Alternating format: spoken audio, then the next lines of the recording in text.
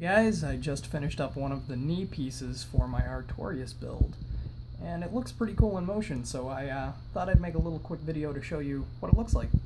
Alright?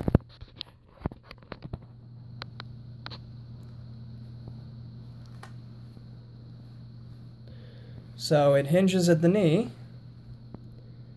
it's attached to a belt, and it's attached around in the back. It gives me a pretty darn good range of motion.